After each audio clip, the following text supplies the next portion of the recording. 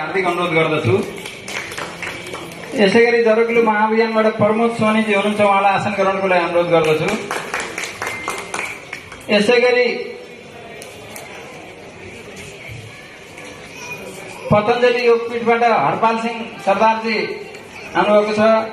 साथै कृष्ण म्याडमलाई मैले देखेँ जस्तो लागेको थियो कृष्ण म्याडम कृष्ण म्याडम उहाँहरूलाई चाहिँ आसन ग्रहणको लागि म हार्दिक अनुरोध गर्दछु।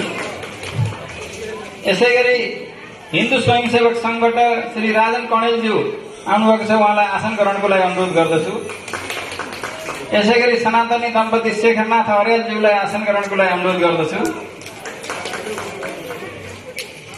त्यसै गरी संस्कृत वक्ता श्यामराज शर्माज्यूलाई आसन ग्रहणको लागि अनुरोध गर्दछु। श्यामराज शर्माजी। अगाडि कुर्सी त्यहाँ।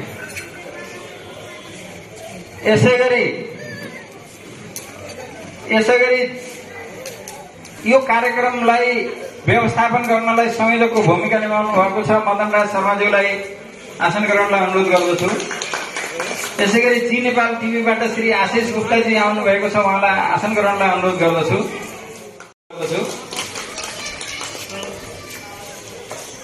यसै गरी यहाँ उपस्थित हुनुभएका आजको यस कार्यक्रममा उपस्थित हुनुभएका आचार्य श्री गुरु परमानन्द शरणज्यूलाई आसन ग्रहणको लागि अनुरोध गर्दछु।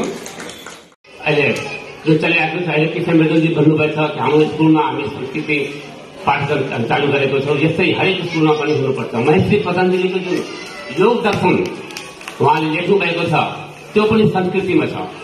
उहाँले त्यसमा अष्टाङ्ग योगको वर्णन गर्नुभएको छ जो कि आज त्यो अष्टाङ्ग योग संस्कृतिमा जुन सूत्रहरूको द्वारा नै आज विश्वमा दुई सय भन्दा बढी देशले योगहरू गरिराखेको छन्। यस्तै हामी संस्कृतिलाई हरेक हरेक हामी ध्यान दिनुपर्छ आफ्नो बच्चालाई हामी संस्कृतिको पहिला ज्ञान दिनुपर्छ। किनकि यदि हामी बच्चाहरूलाई संस्कृतिको ज्ञान दियो भने तपाईँको भेट कसले पढ्ने भेट पढ्ने आज हामी एक हजार मान्छेलाई समूह गरौँ हामीलाई एउटा व्यक्ति मिल्दैन संस्कृत पढ्नेवाला यसै हामी आफ्नो बच्चालाई कोसिस गरौँ हामीले बच्चालाई गुरुकुलमा पढाउने कोसिस गरौँ अथवा म सरकारको माग गर्छु प्रत्येक स्कुल स्कुलमा एउटा पाठ्यक्रम कम्तीमा आठ क्लाससम्म संस्कृतिको पढाइ हुनैपर्छ।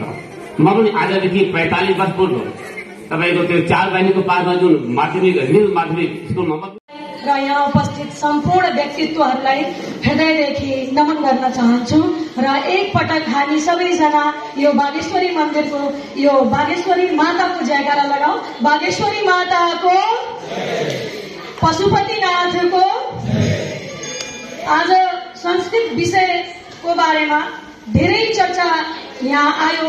एकदम राम्रा राम्रा कुराहरू आयो। म एकदम छोटकरीमा भन्छु। संस्कृत भाषा म सानैदेखि एकदम मन पराउने भाषा हो। जब म प्लस टू पास गरेँ ब्याचलरतिर गएँ सबैको आकर्षण अङ्ग्रेजी भाषातिर थियो। सबै अङ्ग्रेजी भाषातिर एकदम लिप्त भएँ। तर मैले के सोचेँ सबै अङ्ग्रेजी पढ्छन् मैले केही फरक गर्नु पर्यो मैले संस्कृत पढेर अगाडि बढ्नु पर्यो भन्ने धारणाका साथ मैले अङ्ग्रेजी छोडेर संस्कृत विषय लिएर मैले अस्सी पचासी प्रतिशत अङ्क ल्याएर मैले ब्याचलरहरू पास गरेँ। यसरी मैले संस्कृत भाषाका कोचिङ पनि गर्थेँ। सबैले भन्थे कि सबैले अङ्ग्रेजीको कोचिङ गर्छन् म्याथका कोचिङ गर्छन् तपाईँले संस्कृत भाषाको कोचिङ गर्नुहुन्छ। मैले भने हो नि व्याकरण सिक्नु छ भने त हामीले यसको कोचिङ गर्नुपर्छ ट्युसन पढ्नुपर्छ। गुरु त चाहिन्छ व्याकरण सिकाउनको लागि। त्यसरी मैले संस्कृत भाषाको महत्व बुझेँ।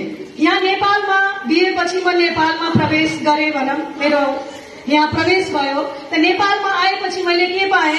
कि हाम्रो नेपाली भाषाको जननी भनेको संस्कृत भाषा। तर यहाँ अहिलेका जुन हाम्रा बाल बालिकाहरू छन् जब शिक्षक पेसामा लागेँ हेरेँ कि गायत्री मन्त्र आउँदैन सरस्वती वन्दना आउँदैन यो हाम्रो जुन पिँढी छ नयाँ पिँढी देश बनाउने युवा पिँढी यो कुन दिशामा गइरहेको छ?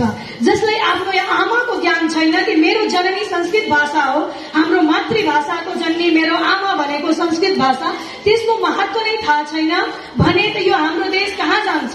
जो बच्चालाई आफ्नो आमाको बारेमा थाहा छैन आमाको गुण थाहा छैन मेरो आमा भनेको यो हो भन्ने थाहा छैन त्यो बच्चाको कुनै अस्तित्व रहन्छ समाजमा? संसारमा अस्तित्व रहन्छ? र संस्कृत भाषालाई पुनः उजागर गर्नुपर्छ भन्ने अभिप्रायका साथ यो कार्यक्रमको आयोजना गरेको छ यो बडा महत्वपूर्ण कुरो छ महत्वपूर्ण विषय छ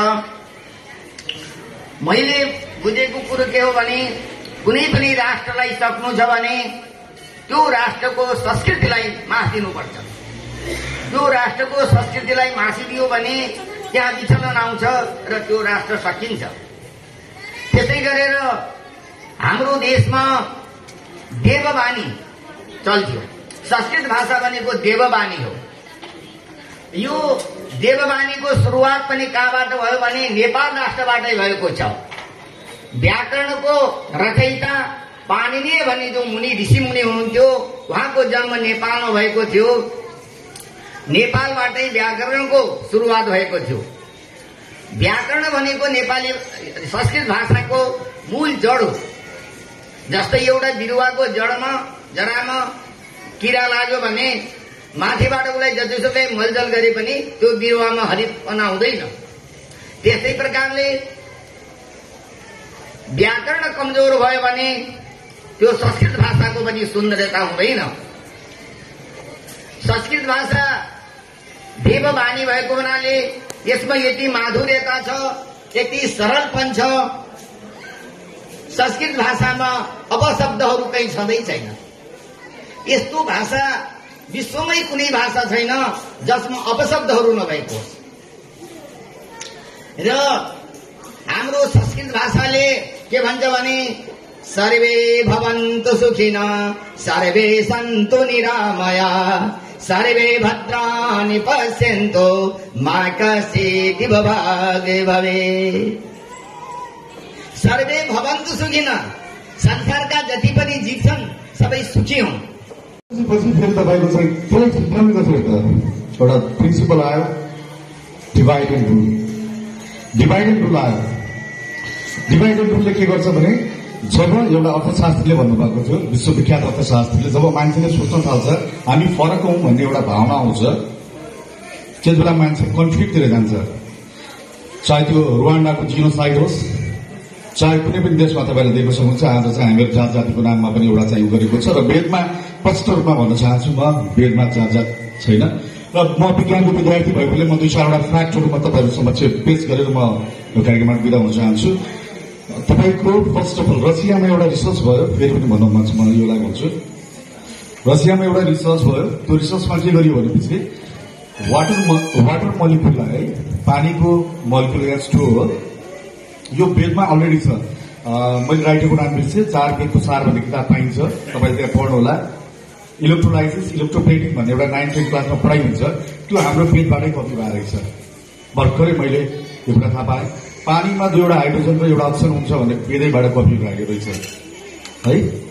त्यसपछि पछि तपाईँको के गरियो भनेपछि सबभन्दा पहिला वाटर मलिक्युल पानीको त्यो उसलाई होइन अरूलाई अरूलाई के गर्यो भने वाटर मलिक्युललाई पहिला इङ्ग्लिस ल्याङ्ग्वेजमा गाली गर्यो उसलाई इङ्ग्लिस ल्याङ्ग्वेजमा युआर नट टी युआर रफिस भनेर भन्यो त्यो वाटर मलिक्युललाई त्यसपछि हेरियो त्यसपछि के पाइयो भने त्यसको स्ट्रक्चर एकदम नराम्रो पाइयो त्यसपछि पछि फेरि इङ्ग्लिसमा त्यसलाई के गर्यो भनेपछि तारिफ गरियो है इङ्ग्लिसमा त्यसलाई तारिफ गर्यो अलि राम्रो भयो त्यसपछि वाटर मलिक्युललाई त्यसपछि पछि फेरि यो इन्डियन भाषा यानि कि नेपाली भाषा इन्डियन भाषाको एउटा हुनै छ रिलेटिभ उनै हुनै छ।